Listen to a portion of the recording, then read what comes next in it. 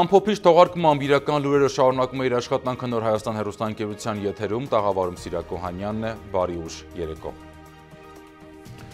Նախ պաշտոնական լրահոսից վարչապետ Նիկոլ Փաշինյանը հանդիպել է նախագահ Հարմեն Սարգսյանին, վարչապետը եւ նախագահան քննարկել են երկրում ստեղծված իրավիճակը, ներքաղաքական մթնոլորտի բարելավման միտված քայլերը, անդրադարձ է կատարվել խորհրդարանական արտահերթ ընտրությունների անցկացմանը։ Կարևորվել է ընտրությունների ազատ եւ արդար կազմակերպման ուղղված անդրաժեշտ քայլերի իրականացումը, այդ թվում սահմանադրության եւ օրենսդրական դաշտի կատարելագործման միջոցով։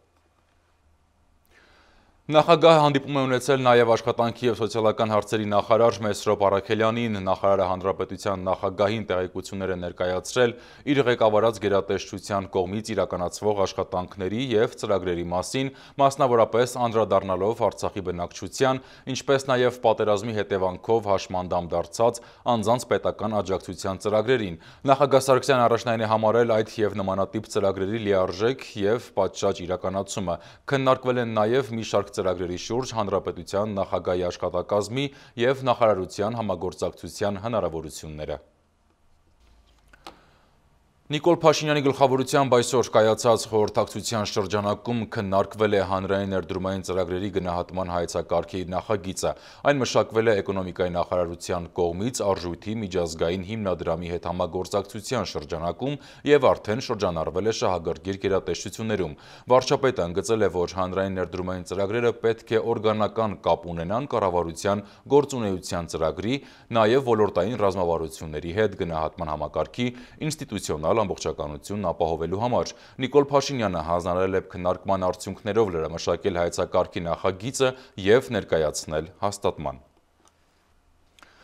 Խորհրդարանը նստաշրջանի օրակարգ չընգրկեց զինվորական ծառայության եւ զինծառայողի կարգավիճակի մասին օրենքում փոփոխություն եւ լրացում կատարելու մասին օրենքի նախագիծը։ Կողմեր 32 դեմ 51 ձեռնպահ 9 падգամավոր։ Հիշեցնենք նախագծի հեղինակը Լուսավոր Հայաստան խմբակցության падգամավոր Տարոն Սիմոնյանն է։ Առաջարկվում էր նախագծով սահմանել, որ զինծառայությունից արձակվող ու ծառայության ընթացքում չօգտագործված արձակուրդ ունեցող զինծառայողներին տրվում է փոխհատուցում չօգտագործված ստացված արձակուրդների բոլոր օրերի դիմաց։ Ընդդիմադիր խմբակցությունները կրկին ռազմական դրությունը վերացնելու մասին առաջարկություն են ներկայացրել հարցով հիմնական զեկուցող Լուսավոր Հայաստան խմբակցության ղեկավար Էդմոն Մարուկյանը հիշեցրել է, որ ընդդիմադիր խմբակցությունները երրորդ անգամ են ներկայացնում նման առաջարկ։ Առաջին անգամ դուք հիշում եք, որ նոյեմբերի 10-ին փորձել ենք, սակայն գլխավոր շտաբի պետի առաջարկով 7 օր մենք չնախաձեռնեցինք, հնարավորություն տվեցինք, որ process-ները ընթանան զինված ուժերում այնպես ինչպես պլանավորված էին, որից հետո մեր խոսքը պայելուց հետո մենք նախաձեռնեցինք ռազմական դրություն հանելու գործընթաց, տապալվեց այդ անգամ, մի անգամ էլ նախաձեռնեցինք, այդ մի անգամն էլ տապալվեց, բայց հիմա այլ իրողություններ են Հայաստանում, ես պետք է ասեմ, որ ռազմական դրության իրականությունը սահմանափակում է ընդդիմության իրավունքները,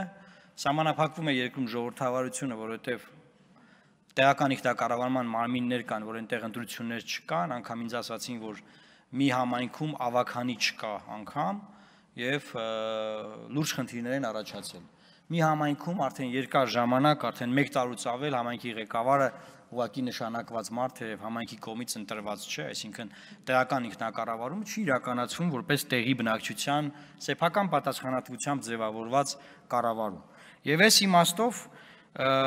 անդադար փաստարկներ էին բերվում, որոնք բոլորը քաղաքական էին, որ ընդդիմությունը այ ուզում է ռազմական դրությունը հանի, որ նախաձեռնի անվստահության գործընթաց, ընդդիմությունը ուզում է ռազմական դրությունը հանի, որ չգիտեմ ինչ հանի, բայց հիմա այլ իրավիճակ է։ Ես ուզում եմ հիշեցնել, որ մեկ շաբաթ առաջ Պաշտպանության հանձնաժողովում հարցը զեկուցելու ժամանակ մեզ թե հանձնաժողովի նախագահը, թե պաշտպանության նախարարության ներկայացուցիչը ասում էին, որ մի քանի օր էլ համբերեք եւ ահա կլինի հանգուցալուծում, քաղաքական ուժերի բանակցությունները ընթացքի մեջ են եւ դրանից հետո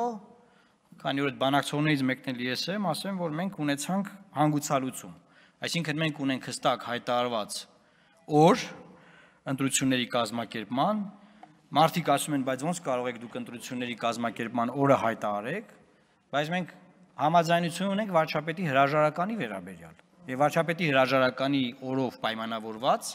հաշվարկ է կատարվել եւ կա արդեն հայտարարված ընտրության օր։ Այսինքն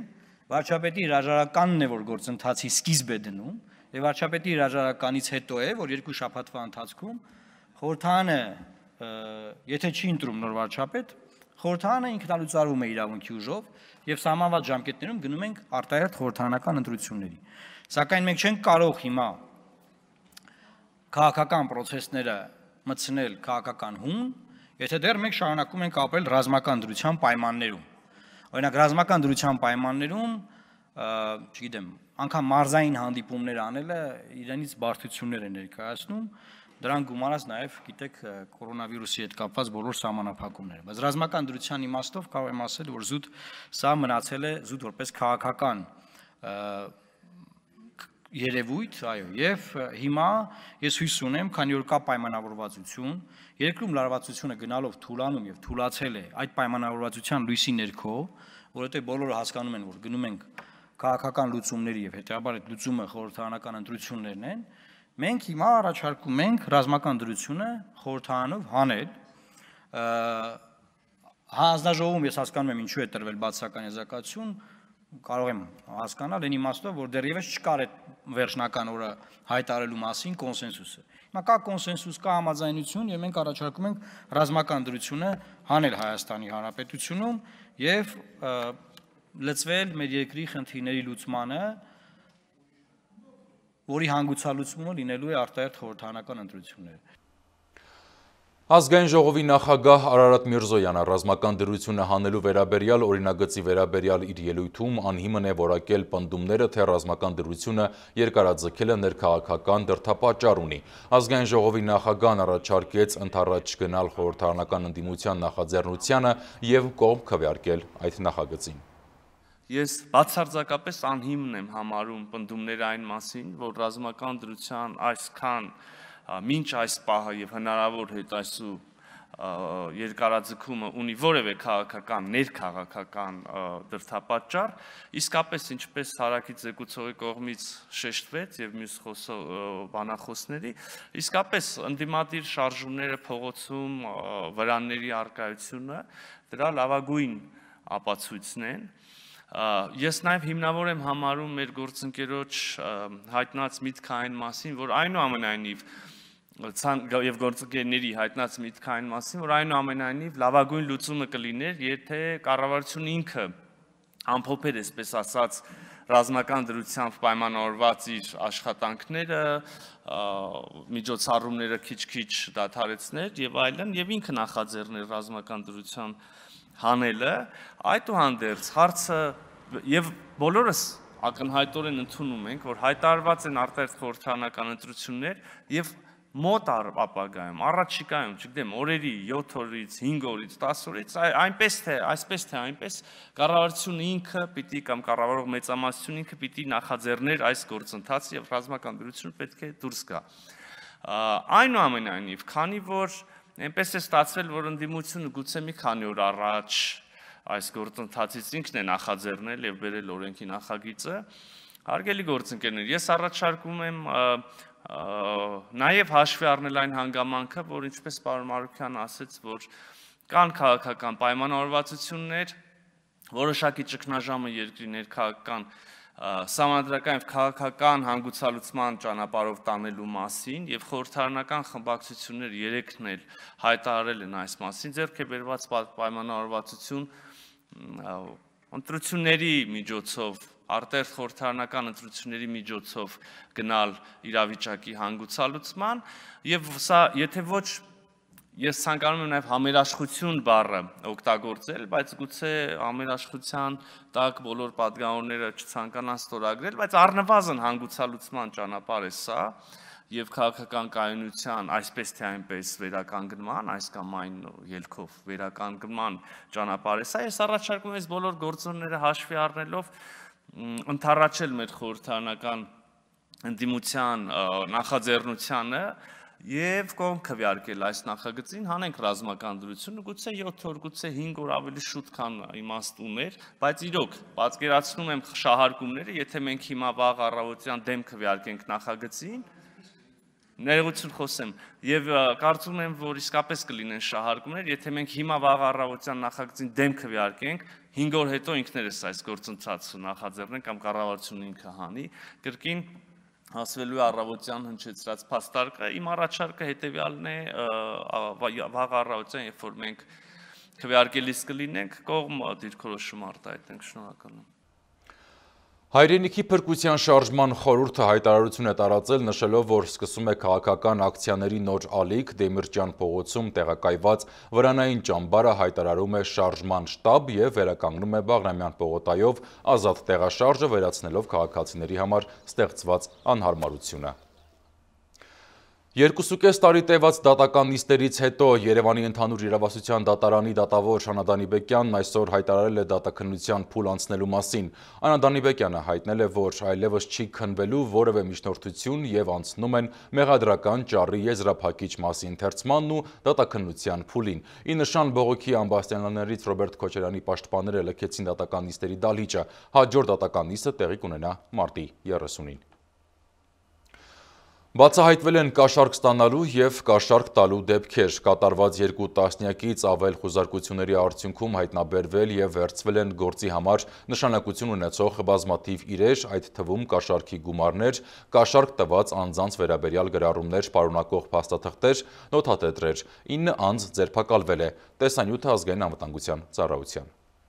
Հայաստանի Հանրապետության ազգային անվտանգության ծառայության տնտեսական անվտանգության, կոռուպցիայի հակազդման դեպարտամենտի եւ Շիրակի մարզային վարչության աշխատակիցները հետևողական պայքար տանելով կոռուպցիոն երևույթների դեմ, համագործակցելով Հայաստանի Հանրապետության ազգային անվտանգության ծառայության քննչական դեպարտամենտի աշխատակիցների հետ իրականացված մեծածավալ քննչական, դատավարական գործողությունների, ինչպես նաեւ համալիր օպերատիվ հետախուզական միջոցառումների արդյունքում բացահայտել են Հայաստանի Հանրապետության աշխատանքի եւ սոցիալական հարցերի նախարարության զբաղվածության պետական գործակալության Գյումրիի տարածքային կենտրոնի տնորենի եւ նրան ենթակա աշխատակիցների կողմից կաշառք ստանալու եւ նրանց կաշառք տալու դեպքեր։ Այսպես, Հայաստանի Հանրապետության ազգային անվտանգության ծառայության քննչական դեպարտամենտում հարուցված քրեական գործի նախաքննությամբ ձեռք բերված ապացույցների բավարար համակցությամբ ողջվել է, որ Հայաստանի Հանրապետության աշխատանքի եւ սոցիալական հարցերի նախարարության ենթակայության տակ գործող Գյումրիի զբաղվածության տարածքային կենտրոնի տնորեն ԱԱ-ն հանդիսանալով պաշտոնատար անձ նախնական համաձայնության գալով իր ենթակայությամբ ուղղությամբ աշխատող պաշտոնատար անց հանդիսացող աշխատակիցների հետ զբաղվածության պետական գործակալության շահառուների օկտին իր լիազորությունների շրջանակում գործողություն կատարելու, այն է աշխատաշուկայում անմրցունակ անձանց աշխատանքի տեղավորման դեպքում գործատուին միանվագ փոխհատուցման տրամադրում, երեխայի խնամքի արձակուրդում գտնվող մայրերի մինչև երեխայի 2 տարին լրանալն աշխատանքի վերադառնալու դեպքում երեխայի խնամքն աշխատանքին զուգահեռ կազմակերպելու համար աջակցության տրամադրում, փոքր բիզնեսի, ինչպես նաև անասնապահությամբ զբաղվելու համար աջակցության տրամադրում ծրագրերում ընդգրկելու եւ պետության միջոցներից դրամական օգնություն տրամադրելու համար 2021 թվականի փետրվար-մարտ ամիսներին Գյումրիի զբաղվածության տարածքային կենտրոնի իր աշխատասենյակում մի շարք քաղաքացիներից անձամբ կամ իր աշխատակիցների միջոցով քողարկված եղանակով պահանջել եւ ստացել է զգալի չափերով կաշառքի գումարներ, իսկ այնուհետև դրանցից որպես մասնաբաժին գումարներ է առանձնացրել եւ փոխանցել իր ենթակայության ներքո գտնվող աշխատակիցներին։ Հերթական անգամ 2021 թվականի մարտի 19-ին ծրագրի շահառու հանդիսացած եւ սոցիալապես անապահով ԱՄ-ի կողմից անաստապահությամբ զբաղվելու համար աջակցություն տրամադրած գումարը ստանալուց եւ որպես կաշառք առանձնացված 50000 ՀՀ դրամ գումարը Գյումրիի զբաղվածության տարածքային կենտրոնի տնորենի տեղակալին տալուց անմիջապես հետո վերջինները եւ զբաղվածության կենտրոնի միուս աշխատակիցները բռնվել ու բերման են ենթարկվել Հայաստանի Հանրապետության ազգային անվտանգության ծառայության Շիրակի մարզային վարչություն։ Քրեական գործի նախաքննությամբ ձեռք բերված ապացույցների բավարար համակցության պայմաններում Հայաստանի Հանրապետության ազգային անվտանգության ծառայության քննչական դեպարտամենտի քննիչների կողմից ձերբակալվել են ընդհանուր թվով 9 անձինք, որոնցից 8-ը կին, այդ թվում զբաղվածության տարածքային կենտրոնի տնորենը, տեղակալը, ինչպես նաև նրանց ենթակայության ներքո գտնվող թվով 6 մասնագետները, ովքեր բոլորը, այդ թվում կենտրոնի տնորենը, գործով ձեռք բերված անհերքելի փաստերի ճնշման ներքո տվել են խոստովանական ցուցմունքներ եւ աջակցել են նախաքննական մարմնին կոռուպցիոն մեխանիզմի ամբողջական բացահայտման համար։ Քրեական գործի նախաքննությամբ բացահայտվել են նաև զբաղվածության կենտրոնի աշխատակիցներին կաշառք տված քաղաքացիների ինքնությունները, որոնցից մեկը ձերբակալվել է, իսկ մյուսների նկատմամբ որպես խափանման միջոց է ընտրվել ստորագրությունը չհեռանալու մասին։ Կատարված երկու տասնյակից ավելի խուզարկությունների արդյունքում հայտնաբերվել եւ վերցվել են գործի համար նշանակություն ունեցող բազմաթիվ իրեր, այդ թվում կաշառքի գումարներ, կաշառք տված անձանց վերաբերյալ գրառումներ պարունակող փաստաթղթեր, նոթատետրեր եւ այլն։ Քրեական գործով վարույթն իրականացնող քննիչի կողմից որոշումներ են կայացվել հանրային ծառայության մեջ գտնվող կասկածյալների պաշտոնավարությունները ժամանակավոր դադարեցնելու վերաբերյալ։ Ձեռնարկվում են ակտիվ քրեադատավարական եւ օպերատիվ հետախուզական միջոցառումներ Հայաստանի Հանրապետության աշխատանքի եւ սոցիալական հարցերի նախարարության զբաղվածության պետական գործակալության Գյումրու տարածքային կենտրոնի աշխատակիցների կողմից կատարված կոռուպցիոն այլ հանցագործությունները եւ դրանում ներգրավված անձանց ինքնությունները բացահայտելու համար։ Հայաստանի Հանրապետության ազգային անվտանգության ծառայությունը հորդորում է քաղաքացիներին եւ պետական ու համայնքային մարմինների աշխատակիցներին դրսեւորել բացառապես օրինապաշտ վարքագիծ, միաժամանակ հաշվի առնել, որ կաշառք եւ ապօրինի վարձատրություն տալու, ստանալու հանրային վտանգավորությունը բարձր է այնքանով, որ այն ոչ միայն խաթարում է պետաիշխանական եւ կառավարչական կառույցների բնականon գործունեությունը, վնասում է նրանց հեղինակությանը, այլ ընդհանրապես քաղաքացիական հասարակարգ կառուցող բոլոր երկրներում մեծագույն խնդիրը, որը կարող է արգելել արգելակել իշխանության համակարգերում քաղաքացիական հասարակության ստեղծմանը, ժողովրդավարական հասարակարգի կառուցմանը, իջիկ դարձնելով բոլոր այն ձեռնարկումները, որոնք ուղղված են հասարակական հարաբերությունների առողջացմանը, մարդկանց բարեկեցության բարձրացմանը։ Ծանուցում. Ենթադրյալ հանցանքի մեջ կասկածվողը կամ մեղադրվողը համարվում է անմեղ, քանի դեռ նրա մեղավորությունն ապացուցված չէ Հայաստանի Հանրապետության քրեական դատավարության օրենսգրքով սահմանված կարգով, դատարանի օրինական ուժի մեջ մտած դատավճռով։ Պաշտպանության նախարարության ռազմական ոստիկանության իրականացրած լայնածավալ օպերատիվ հետախուզական միջոցառումների արդյունքում սույն թվականի մարտի 19-ին խարդախություն եւ շորթում կատարելու կասկածանքով հայտնաբերվել է հանցավոր խումբ։ Հայաստանի Հանրապետության Պաշտպանության նախարարության ռազմական ոստիկանության իրականացրած լայնածավալ օպերատիվ հետախուզական միջոցառումների արդյունքում Սույն թվականի մարտի 19-ին խարդախություն եւ շորթում կատարելու կասկածանքով հայտնաբերվել է հանցավոր խումբ, որը 2020 թվականի դեկտեմբեր ամսից մինչև 2021 թվականի փետրվար ամիսը զինվորական ծառայության հետ կապված տարբեր պատճառաբանություններով խափեությամբ օգնություն ստանալու պատրվակով Ամերիկայի Միացյալ Նահանգների քաղաքացի ՀԹ-ից բանկային փոխանցումներով ստացել է 25000 ԱՄՆ դոլարին համարժեք Հայաստանի Հանրապետության դրամ։ Փաստի արդիվ նախապատրաստված նյութերի ընթացքում ողջվել է, որ N զորամասի ժամկետային զինծառայող ՄՔ-ն Սոցիալական ցանցի միջոցով ցանոթանալով Ամերիկայի Միացյալ Նահանգների քաղաքացի ՀԹ-ի հետ նշված ժամանակահատվածում տարբեր պատճառաբանություններով ՀԹ-ից խափեությամբ ստացել է գումարներ, ինչից հետո իր ցանոթներ ՎՂ-ի եւ ԱՀ-ի հետ նախորոք համաձայնության գալով կեղծ օկտատիրոջ անվան տակ խափեությամբ եւ շորթմամբ ՀԹ-ից գումարներ է պահանջել, որոնք բանկային փոխանցումներով ուղարկվել են քաղաքացիներ ՄԱ-ին եւ ԱԱ-ին իսկ վերջիններս էլ իրենց փոխանցված գումարները նախնական պայմանավորվածության համաձայն տվել են հիշյալ անձանց։ Խոստովանական բացատրություններ են տվել N զորամասի ժամկետային զինծառայող ՄՔ-ն, քաղաքացիներ ՎՂ-ն, ԱՀ-ն եւ ԱԱ-ն։ Նախապատրաստված նյութերի հիման վրա Հայաստանի Հանրապետության Պաշտպանության նախարարության ռազմական ոստիկանությունում հարուցվել է քրեական գործ։ Ծանուցում ենթադրյալ հանցանքի մեջ կասկածվողը կամ մեղադրվողը համարվում է անմեղ, քանի դեռ նրա մեղավորությունն ապացուցված չէ Հայաստանի Հանրապետության քրեական դատավարության օրենսգրքով սահմանված կարգով դատարանի օրինական ուժի մեջ մտած դատավճռով։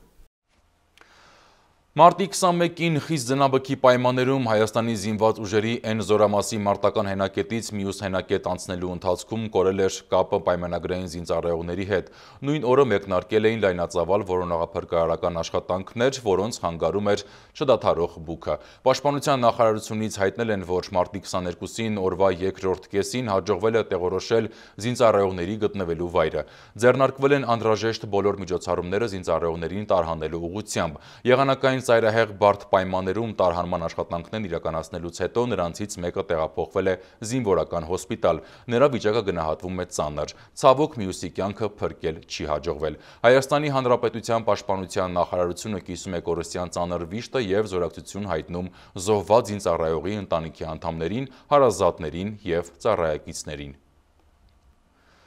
Ռազմագործողությունների ընթացքում զոհված և մինչև այժմ անհետ կորած համարվող զինծառայողների որոնողական աշխատանքներն այսօր շարունակվում են Հադրութի շրջանում մեկ ջոկատով։ Պատերազմից հետո Ադրբեջանի կողմից օկուպացված Արցախի բոլոր շրջաններում, բնակավայրերում և դիրքային տարածքներում իրականացված որոնումների, ինչպես նաև ադրբեջանական կողմից փոխանցված աճուների ընդհանուր թիվը 1518 է, նախնական տվյալներով 23 քաղաքացիական անձինք են։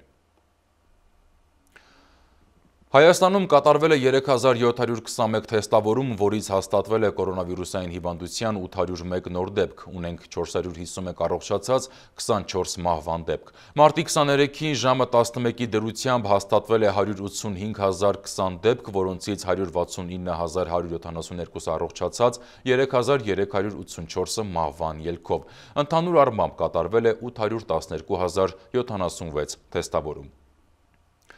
Իսկ Արցախում նախորդին կատարվել է 59 կորոնավիրուսի թեստավորում, որի արդյունքում Արցախում հաստատվել է հիվանդության 7 դեպք։ Կորոնավիրուսային հիվանդությամբ այս պահին ստացիոնար բուժում է ստանում 17 վարակակիր։ Արցախում այս տարվա ընթացքում կորոնավիրուսի լաբորատոր հայտնաբերման նպատակով իրականացվել է 3965 քաղաքացու հետազոտություն, որից 548-ի մոտ արձանագրվել է դրական թեստի պատասխան։ Իսկ այժմ կարճատև դաթար, որից հետո կներկայացնենք միջազգային լրահոսը։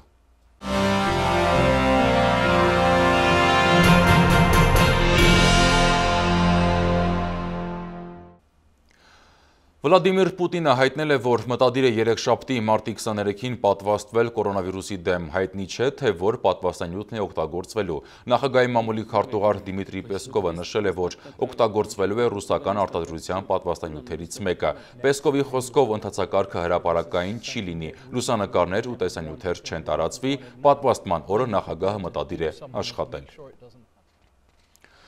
Գերմանիան եւս մեկ ամսով երկարաձգում է համաճարակային խստացված միջոցների կիրառումը, ավելացնելով նոր սահմանափակումներ։ Այսօր առավոտյան խոսելով Գերմանիայի 16 նահանգապետերի հետ եվրոպական երկրի կանցլեր Անգելա Մերկելը հայտնել է, որ մինչև մարտի 28-ը նախանշված լոկդաունը կերկարաձգվի մինչև ապրիլի 18-ը։ Սուրբ Զատկի ժամանակ հանրային շփումներ չեն լինի։ Երկրի կանցլեր Անգելա Մերկելի խոսքով Գերմանիայում նոր համավարակ է սկսվել։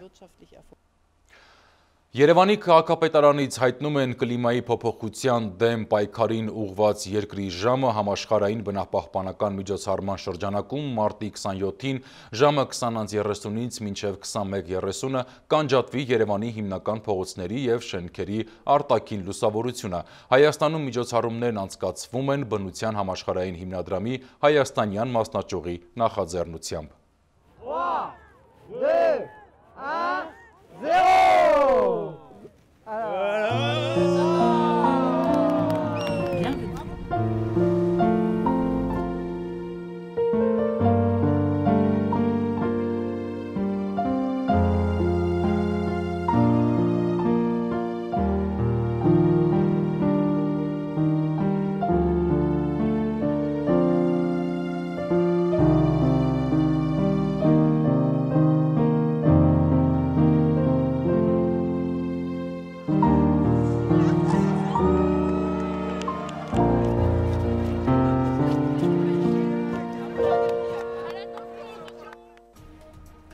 Եվ վերջում ամփոփ եղանակի մասին. Հանրապետության տարածքում մարտի 24-ից 25-ը շրջաների զգալի մասում կդիտվի տեղումներ անձրևի տեսքով, օդի ջերմաստիճանը աստիճանաբար կբարձրանա 5-ից 7 նիշով։ Ամփոփիչ թողարկման համար նախատեսել էինք այսքանը խաղաղություն բոլորից։